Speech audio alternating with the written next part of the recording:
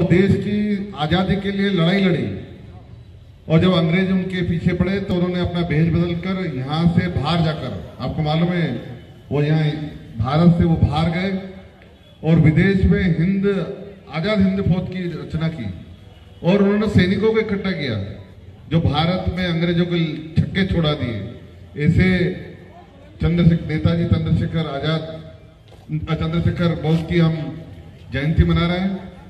और इस अवसर पर मैं यही कहूँगा कि उन्होंने जिस तरह देश के लिए अपने प्राण नुशावित किए, हम सब भी अपने शहर, समाज के उत्थान के लिए, देश को परम वैभव तक पहुँचाने के लिए पसीना बहाएँ और बहा भी रहे